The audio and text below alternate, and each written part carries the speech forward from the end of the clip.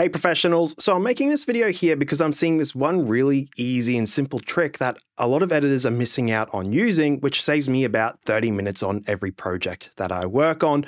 And so I just wanted to showcase what it is that I'm doing and how you can do it too. And what I'm specifically talking about here is setting up projects. So when we think about setting up projects, we, there's a lot of needlessly time expensive settings we have to adjust. If for instance, if I go to create a new project here and I click here, so immediately we already have to come up with a name and then we've got to choose the sync media settings and all the blah, blah, blah stuffs. So now that we're in here, we now also have to go across and change all the project settings. So if we go to project settings, we're starting off with the master. There's always a couple things here, like I've always got to change these to 25. And then the color management, maybe we need to change these to something else. Another one I have to do all the time is this transcription. So if you want to transcribe and create captions for your clients, we have one word show up at a time. I have to change this from three seconds to zero so that DaVinci Resolve doesn't put two little words together in one little clip. You want them separated out. So there's just all these annoying and time consuming and tedious tasks. So there's a way where you can actually just set up all these settings once and then save it as a template. And I'm talking about DaVinci Resolve project files. So let me just show you what that looks like here. So every time I have a new project, whether it's for a client or for myself, and in this case, I'm going to be showing you how I set this up for my own YouTube videos, the first thing I do is I go into my little universal assets folder and I've got project templates. And then here we can see YT template latest version number. That basically stands for YouTube template. So this is the default template that I use for every single project I start with. But before I click on this, the first thing I need to do is make sure I just open up the, my project data management base and then just make sure I click into Orson Lord. So this is my folder here for all my videos. And then I can just double click here and I'll give this a name. So you'll notice here that I use like a serial number for most of my projects. I just work on so many videos that if I use a title, they all get mixed up. But if I use serial numbers, it keeps communication with me and my assistant editor very clear. So in this case, I can just put an OL underscore, and if this is the latest project, it'll be one after 56, so project 57. And then I can just simply hit import. And so with this loaded up now, you'll see there's this huge amount of stuff already done. So if we go in here, we have these timelines. And so this is the main default timeline I use. And it's immediately got a few things in here, such as color-coded dialogue, sound effects, and music. So I was just to import a quick little asset here with my sound effects. And if I put these down here, you'll see that we've got these color codes. So if I drop them in the sound effects timelines, they're orange. If it's in the music, they're purple. And if I drop them in the dialogue, they're green. I'll open up one of the projects I'm currently working on to show you another cool little automation I've built here. So this is the current project that we're working on right now. So I've done you guys a huge disservice. And there's a major thing I want to show on here, which is the dialogue. I don't know what's happening with my microphone, but it's always like negative 10 to negative 20 decibels too quiet. And it's really annoying to adjust. But if we just simply click into my Fairlight here, you'll see that this is the dynamic that we already have pre-saved. And I'll just show you what it sounds like. If we have a look at my voice meter just over here in the dialogue, I released snap captions a little while ago, but I didn't provide a full pretty well leveled. It's really nice and high. And this is what it looks like without it. Video workflow guide on how to actually use snap captions. So it's way too quiet. It's not that time consuming, I guess, to set up your dynamics and your timeline and your project files and your project settings. But when you have to do all of that on every single project, that does add up to a substantial enough time that it does have an impact on your day. So, just by simply creating a template project file, we double click it once and everything loads up like we want. So, I just wanted to quickly show you how to go about setting one of these up. So, I'm just going to create a new project file here. Now we have a completely blank project file to work with. We want to just go across and do all those settings adjustments as we want so that we have something that we can save as a template. Now, the first thing I would recommend doing is going into your project settings themselves. So here I'm just going to go through a bunch of common settings that I like to change from the defaults that help me save time down the line. So here I'm going to change my frame rates to 25. I'm working with HD resolutions because I work with social media content. Everyone still seems to prefer HD most of the time. Going into the subtitles, I'm also going to change this to zero seconds. Now, here's an interesting one here. If you're working with timelines within timelines, instead of having the scale entire image to fit, I'd go center crop with no resizing. This is really going to be dependent on your workflows, but if you're using something like my Snap UI template, we need to make sure that the mismatch resolution is by default set to center crop with no resizing. Here's another one that might be useful for you to look at. It's the optimize media and render cache. So if you're running on a slower computer, you'll usually have this setting enabled. So if you go to playback, Fusion memory cache and have this set to auto, anything that doesn't play back in real time, whenever you're not doing anything, Resolve's going to render it in the background automatically so you do get that smoother playback. This is a ProRes 422HQ. If you're on a Windows machine, it'll most likely be set to like a DNX HD or HR setting. Now, these are technically the best codec files for getting really clean, really smooth playback. And a lot of the times, this is actually the correct setting to have. But if you're working with smaller hard drives in your computer, very quickly, these files will fill up your hard drives. The amount of data they take per second to render out is massive. A couple projects and you'll fill it up in no time.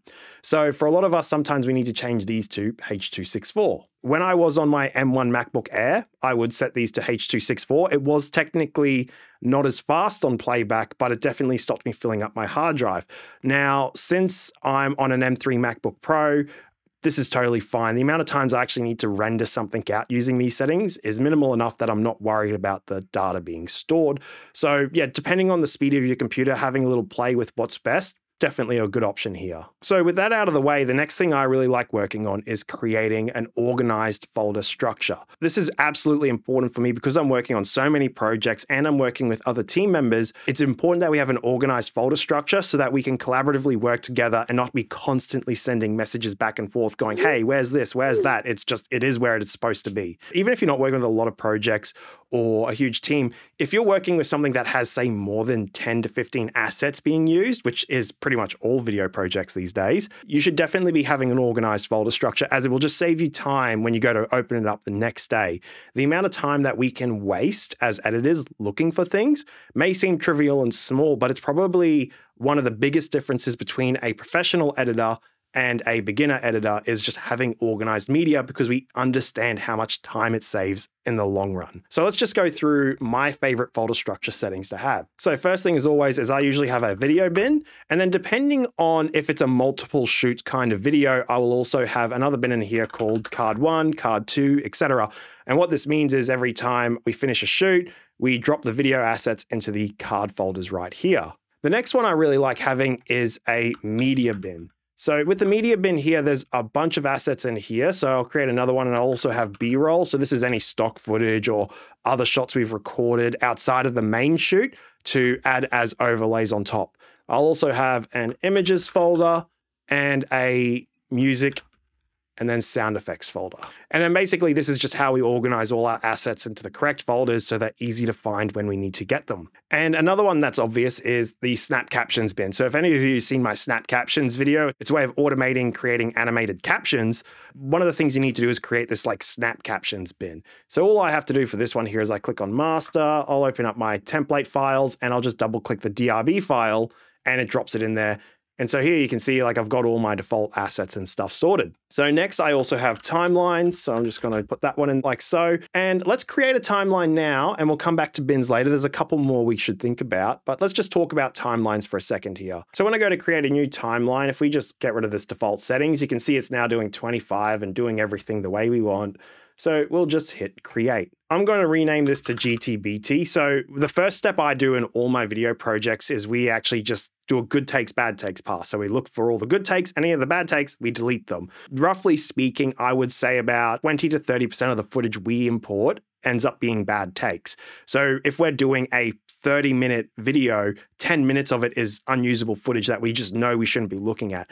And we immediately just get rid of that because we have to play back that video so many times by the time we get to the end. Those 10 minutes of looking at bad footage really adds up. So that's just one of the reasons why I name it a GTBT timeline. And let's just go through how I set this timeline up. So the main thing I like setting up in my timelines is audio automation. So things that help process audio to be as quick and efficient as possible, like you saw before. I always end up creating a new track here as well. Now, I personally only work with mono audio in my dialogues. I know there's some stereo systems out there, but I just set it to a 1.0 as it keeps things really simple and easy when I go to drag my audio in. If I just quickly jump over to Fairlight here, I'm just going to go into the dynamics and what I'm going to do is just create a compressor. So I know just personally working with my microphones, I usually end up having to need something that looks a bit like this. Now, I know this is pretty janky having my volume up so high. So, for all your hyper audio professionals, I know it's not the ideal thing.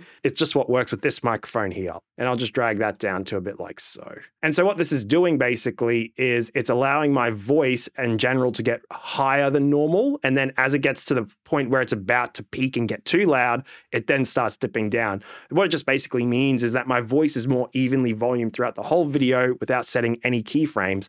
And what this is doing here is it's just hiding any of the breaths. So I found my breaths can be kind of subdued a little without having to create manual keyframes by just having this little gate here. And then what I'll do is I'll copy that and I'll paste it across to here. And then I'm just going to set the track name to dialogue one, and then I'll set this one to dialogue two. So after this, I'm going to add three stereo tracks. And these are all going to be my sound effects. So anytime I've got any like whoosh sound effects or or whatever they may be, this is where they go. Now, I don't do any changes from the defaults with these because sound effects can be so wildly variant. They have to be manually adjusted inside each clip. So I just keep that one in mind. But what I will do is I'll highlight these three and I'm going to change the color to a different one, such as orange. And then after that, I'm going to add two more stereo tracks.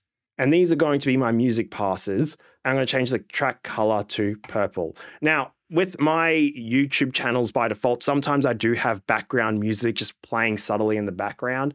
So in this case here, what I usually end up doing is I'll just go inside here and I'm going to use the compressor again and I'm going to drag this down. And what I'm basically saying is like, hey, try and keep that music around that negative 30 decibels as an ideal number. And I'll kind of play that by ear a little bit, but that's generally what I do. If you're using music that isn't always going to be in the background, maybe it's jumping up to your dialogue levels, this may not be an ideal solution, or something you could do is just add another track type in here with a different color where it's like unequalized music, basically. So if you want to learn more about these dynamics here and how you can best change the settings for you, I'll leave a link to some of Jason's videos. He's pretty much the Fairlight master when it comes to DaVinci Resolve on YouTube and teaching it, and you really can't go wrong with the videos he covers on these topics. So definitely recommend checking them out if you're curious about more things you can do with these. So with our timeline out of the way, let's just go back to our master bin here and I'm going to create a new bin called compound clips. And this is a really important reason. So if you're working with a lot of projects, a lot of the times we end up compounding things together because it allows us to save time and keep things more condensed and organized. And I just want to quickly show you what that can look like. So I'm just going to drag a few things in here. Cool. So now I've got these two images in here, and you see we've got this iPad screen, and then we've got this HD green placeholder image. And what we might want to end up doing, for instance, is we just decide to create a little compound clip. So we want to put these together because we're just going to adjust all the settings at once, such as, you know, maybe we might throw a little magic animate on both of them here. I'm just going to give it a little whip in. There you go. So now you see we've got that little whip in happening. Now, one of the main issues with this compound clip is that if I click somewhere else in the any other bins and I create a new compound clip again, it's just going to call it compound clip one by default. It's extremely problematic if you're working on multiple video projects inside a single project file. These compound clips can all get mixed up and messy. But now that I have this compound clips folder with compound clip one, if I create a new compound clip, it immediately by default makes it number two, which means it's very easy to go, oh, yep, this is compound clip one, compound clip two. It keeps everything a lot more organized by giving unique names automatically. It's not something we have to keep track of. So once we've ended up creating this huge project file, how do we go about turning it into a template? Well, this is how. First thing we're going to want to do is actually save this project file as something else. I'm just simply going to go save project as, and we're going to call this template project file enter, and you can see up here, it's now changed to template project file. So you know we're in this new duplicated version. And this is important because the first thing we want to do before we turn this into a template is remove all the assets we're not going to be using by default. So here I'm going to be deleting my compound clips from timelines and the bins. Then if we go into our media here, I'm going to also delete this, delete my images, but I am going to keep my snap captions. So when we save a project file, because these are fusion compositions, DaVinci Resolve will save them automatically.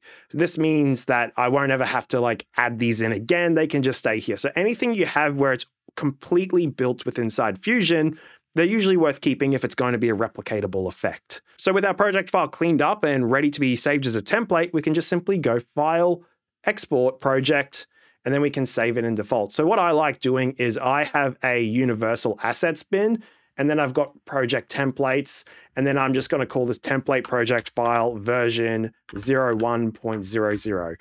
And I think it's really important to have version numbers as you will make tweaks and changes as you refine your processes in your career. So it's just a nice little way of keeping up to date and creating a non-destructive workflow if you ever want to go back to like an old project style setting. Another really awesome feature you could do here is if you work with a client multiple times every month, it makes sense to create a project file for them. So here you can see this one pn underscore project four. That's actually my client's property navigation. And so I actually have a template project file because we have a very regular process with them. And this just means working with their edits is quicker every single day. So now I can just hit save.